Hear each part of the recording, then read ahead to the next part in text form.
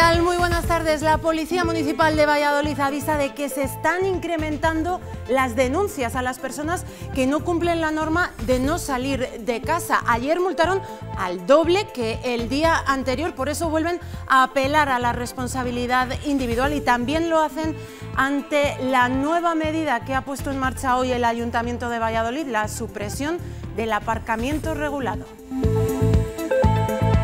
Desde hoy ni naranja, ni disuasorios. El Ayuntamiento de la capital toma estas medidas tras las protestas de los ciudadanos. Piden, eso sí, responsabilidad, que se usen estas zonas de aparcamiento solo si es estrictamente necesario hacer ese llamamiento a la responsabilidad de todos los ciudadanos para que si no les queda más remedio sus desplazamientos les hagan a pie y también pues eh, aquellos que tengan plaza de garaje pues que la utilicen para guardar su vehículo y que no le dejen en la calle para dejar plazas disponibles a quien realmente las vaya a necesitar en estos días. Vamos a ver ejemplos de solidaridad en estos tiempos difíciles. Unos taxistas de Arroyo de la Encomienda ponen su vehículo a disposición de las personas que necesiten desplazamientos imprescindibles, por ejemplo, ir al hospital o al supermercado. Por cierto, su negocio en estos días ha bajado un 80%. El Banco de Alimentos de Valladolid continúa trabajando con 18 voluntarios, pero han tomado medidas para garantizar la seguridad. Además, no reparten productos frescos.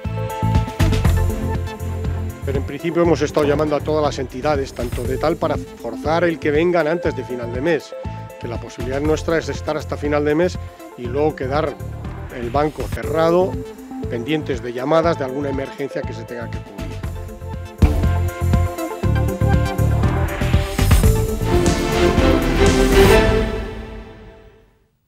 Según los datos proporcionados hace unos minutos por la Consejería de Sanidad, pero que corresponden a la última actualización, que es de ayer a las 8 de la tarde, en Valladolid hay 82 casos confirmados de coronavirus, 8 de ellos son nuevos. Y más cifras, la Policía Municipal de Valladolid ha denunciado a 121 personas y a 23 empresas en estos tres primeros días de aplicación de las normas.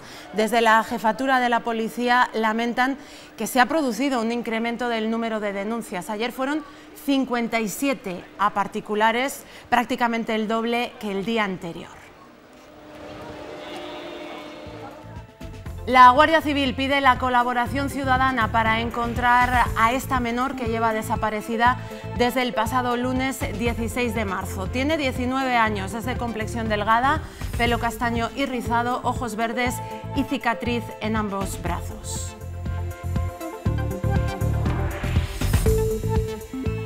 Mayor de edad. Los expedientes de regulación de empleo temporales, los ERTES, son el termómetro de los efectos del coronavirus en nuestra economía. En el día de ayer, la Junta recibió por parte de la provincia de Valladolid siete solicitudes que afectaban a 24 trabajadores, pero hoy se espera una cascada. Una de las empresas en la que está habiendo problemas es Conecta. Según el sindicato, de momento la compañía ha impuesto a sus empleados tres días de vacaciones. El aviso les ha llegado esta misma noche a través de un SMS al móvil, lo que ha provocado que algunos hayan ido a trabajar hoy de nuevo y que haya tenido que aparecer la policía. Tres días es el tiempo que la entidad necesita para poner en marcha las medidas de prevención que se acordaron en la reunión de ayer. Los trabajadores van a reclamar que estos días sean remunerados. La situación de confinamiento repercute en muchos negocios que dependen de nuestro ocio. Es el caso de los feriantes, que después de la declaración del estado de alarma han tenido que recoger sus atracciones y esperar. Los feriantes han tenido que aparcar. Aguantamos el viernes, pero el sábado ya decidimos recoger todos los cacharritos y guardarnos en la nave porque no era momento de estar en la calle ni por nuestra seguridad ni por la seguridad, sobre todo primordialmente de nuestros clientes que son los peques. El coronavirus ha llegado en el peor momento. Encima de que eh, al principio de año andamos siempre mal todos los feriantes, ahora nos ha pillado esto. Sus atracciones llevan generaciones divirtiendo a los niños. Pues nos hemos dedicado toda la vida a esto y no sabemos prácticamente el 90% hacer otra cosa que, que esto. Han unido fuerzas con otras asociaciones de la región y han escrito una carta a la delegación del Gobierno. Por favor, que nos hicieran un poquito de caso. Miran al futuro con preocupación. El problema está en que cuando pase este par de meses, ¿qué va a pasar? Ahora mismo estaban en Laguna de Duero y Medina del Campo, en Valladolid, y habían pagado sus licencias. Nos gustaría que nos lo devolvieran, ya que no se va a hacer. Me imagino que lo tienen que tener en cuenta. Mientras estas atracciones seguirán esperando volver a encender sus luces. Las oficinas de correos abren en estos días en un horario especial de 9 y media de la mañana a 12 y media del mediodía, de lunes a viernes. En este periodo de tiempo se están produciendo largas colas en la calle. Las personas han aguardado manteniendo la distancia de seguridad hasta más de una hora. Son imágenes que veíamos esta mañana para acceder a la oficina de la calle Sayago y también había largas colas en los alrededores de Fuente Dorada en la capital. Solo se presta el servicio postal público. Llevamos aquí sobre una hora, hora y cuarto, más o menos. ¿Qué es lo que va a recoger? Eh, una carta de certificado, una carta certificada, que es lo que han hablado que, que, que van a dar. No van a dar paquetes, eh, enviar paquetes, nada de eso. Hora y media, ¿Qué es lo que viene a traer? un paquete para mi hijo. Se lo mando para Madrid. También hora y media vengo a mandar una carta para el trabajo de mi padre y... Pero vamos, que es que no entiendo. Aquí hora y media que se supone que nos tenemos que contagiar y estamos aquí todos juntos. Ya, sin embargo, ¿estáis manteniendo la Sí, distancia? sí, sí, procuramos, procuramos. La verdad que sí. Sí, porque si no, al final te contagias. El Ayuntamiento de Valladolid ha suspendido el estacionamiento regulado en la ciudad. No habrá hora ni en la zona azul, ni en la naranja, ni en los disuasorios. Creen que la decisión llega en el momento adecuado. Se trataba de proteger a aquellas personas que necesitan el coche para trabajar y que pudieran estacionar sus vehículos. La medida se mantendrá hasta que finalice el estado de alarma. Decisión acertada y en el momento oportuno. Así entiende el ayuntamiento que se ha actuado a la hora de retirar el pago del estacionamiento en la capital vallesoletana. No se ha hecho antes a la espera de conocer el Real Decreto que protege a los trabajadores y para facilitar el acceso a sus empresas a los que deben trabajar. que en algunas zonas, especialmente de la ciudad, donde es muy difícil aparcar, eh, hubiera rotación, especialmente para algunos sectores que están obligados a trabajar, el personal sanitario, personal de ayuda a domicilio, personas que van a cuidar a otras personas mayores a sus casas, etcétera, y que en estos momentos pues van a tener más difícil el aparcamiento. Hay zonas muy complicadas que se querían proteger. especialmente la zona 1 y la zona 2, pues eh, todo lo que es la zona centro, la almendra, la almendra central eh, de, de la ciudad, eh, eh, también la zona de eh, Vadillos, eh, San Juan, pues es una zona eh, complicada de aparcamiento. Hay menos problema en algunos aparcamientos disuasorios, como por ejemplo en la de muestras, que pues no le va a afectar prácticamente. Pero bueno, y, también el entorno del hospital, el entorno del hospital clínico, que es una zona especialmente saturada. Hacen un llamamiento a la responsabilidad de todos. Si no les queda más remedio, sus desplazamientos les hagan a pie y también pues eh, aquellos que tengan plaza de garaje pues que la utilicen para guardar su vehículo y que no le dejen en la calle para dejar plazas disponibles a quien realmente las vaya a necesitar en estos días. Indicado que aquellas personas que estos días han sido sancionadas por la hora podrán recurrir siempre que se demuestre que estaban desempeñando tareas que les impedían abandonar sus puestos. Estas personas lo que tendrán que hacer es presentar un recurso, como está establecido en la, en la normativa, y se estudiará y aquello pues que se vea razonable por parte del instructor del expediente, pues se archivará y punto. Vélez ha señalado que esta medida hará que un centenar de trabajadores de la hora se queden en sus casas. Hasta que finalice el estado de alarma se podrá estacionar sin tener que pagar. Estamos viendo que la solidaridad aflora en tiempos difíciles. En Arroyo de la Encomienda, dos taxistas no han dudado en poner su vehículo a disposición de quien lo necesite para desplazamientos indispensables. A pesar de las circunstancias y de la bajada de facturación, les puede más, dicen, la satisfacción de ayudar. En cuanto se confirmaron las restricciones, no lo dudaron un momento. Algo había que hacer para ayudar en estos duros momentos. Mi granito de arena, oye, eh, poner al servicio de los vecinos de aquí de La Flecha, de Arroyo, Sotoverde, Vega Bahía, mi taxi de forma gratuita para todos los que quisieran ir a los hospitales, a trabajar a los supermercados, a una farmacia, necesidades básicas, pues eh, nosotros, un compañero y yo, poníamos el taxi de forma gratuita para bajarles eh, y luego para subirles. Pusimos tres horarios y para bajar y otros tres horarios para, para subir. Desde el domingo le han llamado unas 40 personas cada día, algo menos desde que Aubasa volvió a funcionar no tiene miedo de que alguien se aproveche. La gente, dice, en general, es honesta y solidaria. A mí es el mayor pago que nos han podido hacer a mi compañera a mí, ha sido pues, eh, los comentarios de la gente dándonos las gracias. Nosotros solo pusimos una condición, bajábamos, pasábamos por todos los hospitales, por los centros de salud, por una frutería, por un supermercado, una farmacia, pero que no te iba a dejar en casa de un familiar. Desde que se decretó el estado de alarma,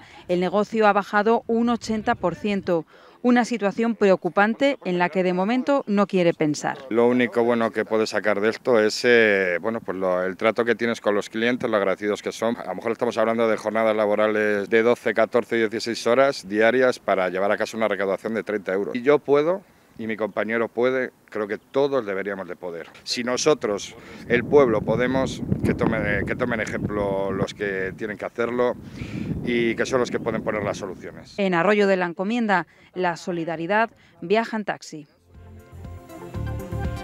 Y esta es otra iniciativa que ha surgido en Instagram. Es un grupo que busca contactar a voluntarios en nuestra provincia con gente que pueda necesitar ayuda. Por ejemplo, se ofrecen personas para pasear a perros o para hacer las compras.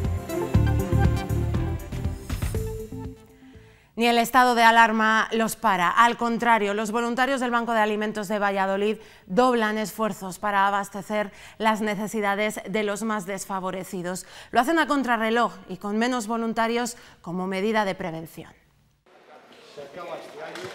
Continúan con su actividad, pero por seguridad han cambiado los protocolos de organización, empezando por los voluntarios. Son todos jubilados y de 70 han pasado a ser 20, los más jóvenes y sin problemas de salud. En 15 días van a repartir todo lo almacenado en las naves. Después cerrarán hasta principios de mayo, en función de cómo transcurra la alerta sanitaria.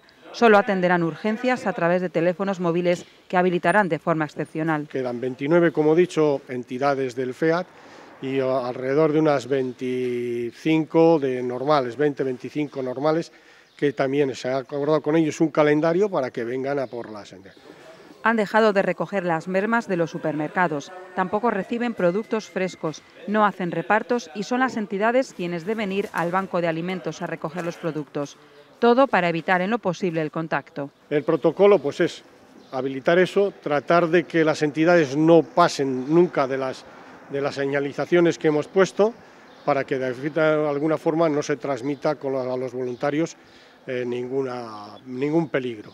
Es tiempo de ayudar, pero auguran lo peor para los próximos meses, cuando aumenten las necesidades y se hayan reducido las ayudas. Ya avanzan que toda ayuda será poca. Cuando pase todo esto vamos a tener el abastecimiento muy pobre, con lo cual vamos a tener que poner las pilas para buscar eh, alimentos porque eh, preveemos de que se van a incrementar el número de beneficiarios gente que va a ir al paro, por lo tanto no va a tener capacidad para tal, va a entrar dentro de la exclusión social que está y prevemos de que volvamos otra vez a tener, pues como íbamos a tener 30.000 beneficiarios, o sea, el doble de lo que tenemos ahora. Por cierto, que ellos también están escasos de material, trabajan con mascarillas que les ha donado un transportista y aún están buscando gel desinfectante porque no lo encuentran, aunque eso, como vemos, no les detiene en su labor.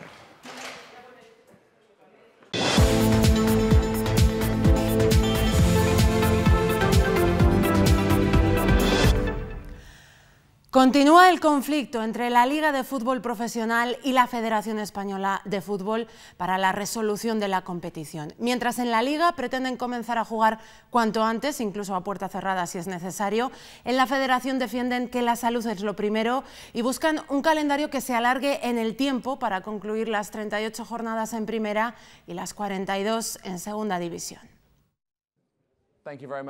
Mientras la Liga de Fútbol Profesional trata de salvar la enorme factura que supondría suspender definitivamente la Liga por la falta de ingresos de derechos audiovisuales, apuran para jugar cuanto antes, incluso a puerta cerrada. La Federación Española dice anteponer la salud de los jugadores y busca alternativas, alargando las fechas de finalización para que pueda disputarse la Liga al completo. Que las competiciones se tienen que finalizar. Y se tienen que finalizar a ser posible antes del 30 de junio pero el 30 de junio no tiene por qué ser un muro infranqueable.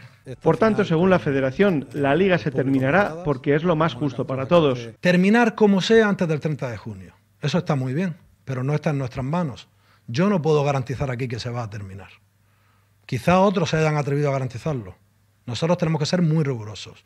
No sabemos a lo que nos enfrentamos. Nuestra propuesta es alargar el calendario lo necesario para que se terminen las competiciones. Y ello tiene que ser en coordinación con la liga y obviamente pues el reglamento de la federación dice lo que dice, pero lo que queremos es acordar. Rubiales ha aprovechado para evidenciar una vez más el enfrentamiento que mantiene con el presidente de la liga, Javier Tebas. Aquí sí que hay una cuestión que me resulta especialmente grave y es si el 90, 95%, 88% de tu riqueza está basada en los derechos de televisión, ¿cómo es posible que no se haya asegurado? ¿Cómo es posible que ahora se genera una incertidumbre de 600, 500, 700 millones de euros, cuando el responsable de la venta tenía que haber asegurado íntegramente eso. Nosotros aseguramos nuestras competiciones. La final de la Copa del Rey está asegurada. Nosotros en venta de derechos tenemos muy poquito, un 6%, un 8, un 10. Pero si tuviéramos un 90%, si aseguramos teniendo un 6 o un 8 o un 10, ¿cómo es posible que un gestor no haya asegurado el 100% o el 90% de sus ingresos. Nos parece tremendo. En cualquier multinacional estaríamos hablando de una decisión clara con respecto al responsable de esta venta. Rubiales ha enviado también un mensaje a todos sus afiliados para que estén tranquilos. Todos los equipos que están incluidos en el programa élite, primera división 500.000 euros, segunda división 100.000, garantizamos 100% hasta el último euro. Faltan muchos capítulos por escribir aún en esta historia, pero lo que es innegable es que todo el mundo está pendiente de la decisión que se tome y que sea cual sea, no va a dejar a todos contentos. La situación es diferente en el balonmano. Les contábamos ayer que la Soval ya había decidido suspender una tercera jornada de la liga porque entienden que el estado de alerta se puede prolongar, así que buscan soluciones para este final de temporada. Somos conscientes de que esta situación se va a prolongar eh, quizá más de lo esperado, con lo cual estamos trabajando ya en un escenario en el que vamos a tratar de establecer una fecha límite a partir de la cual ya no sería posible volver a competir esta temporada. Y vamos a elevárselo a nuestra Asamblea y de ahí a la Federación Española para que mm, decidan lo que estimen oportuno en cuanto a lo que sería el volver a reanudar la competición o darla por terminada y eh, las consecuencias que eso pueda tener a nivel clasificatorio, etc. Hay algunas ligas eh, europeas que ya han tomado esa decisión de cancelar la competición y nosotros bueno, pues estamos a la expectativa. ¿Y cómo están afrontando los deportistas este parón? ¿Cómo hacen los equipos para mantener sus estados de forma, para estar activos y poder competir cuando se reanude la competición? Pues lo vemos a continuación. Excepto el club de baloncesto, que como les hemos contado parece que su competición no volverá porque los americanos han regresado a sus casas, el resto de equipos ha diseñado un trabajo individualizado para sus deportistas con el fin de que estos puedan trabajar en sus domicilios, así como unas pautas de alimentación. Se trata un poco de, calentamiento y hit con bici, unos fondos eh, de, de, cambios de ritmo, unos ejercicios con, step, con salida a sprint y para finalizar un poco un poco de core, todo supervisado y enviado por, por el cuerpo técnico y, bueno, eh, nos ayuda un poco a mantener la forma y, seguro que esto pasa pronto y nos vemos todos en el estadio José Zorrilla. Estoy aprovechando para entrenar en casa, sea en el salón, sea en la terraza o en la escalera de, de la comunidad de vecinos. Vemos imágenes que nos han cedido el Real Valladolid y el Atlético Valladolid, en las que comprobamos que efectivamente los deportistas aprovechan el espacio disponible para poder mantenerse en forma. Los preparadores físicos envían un planning semanal en el que explican qué ejercicios y qué cantidad deben acometer, pero también hay tiempo a lo largo del día para hacer otras cosas. También estoy aprovechando para ver series, me parece que llevo unas 10 temporadas de distintas series. Estoy jugando más a la consola, estoy leyendo, estoy también cuidando mi alimentación, que estos días, como es lógico, no quemo lo mismo que una semana de competición. También estoy aprovechando para hablar muchísimo con mis amigos, aunque están también aislados en sus casas. Así es ahora el día a día de nuestros equipos, de nuestros deportistas y también el nuestro, asistiendo a distancia a un trabajo que antes veíamos en primera persona. Todo sea por frenar la expansión del COVID-19. Bueno, pues nosotros seguimos presencialmente trabajando para poder acercarles toda la actualidad de Valladolid. La siguiente cita es a las 8 de la tarde. Ahora les dejamos con la previsión meteorológica. Que pasen buena tarde. Adiós.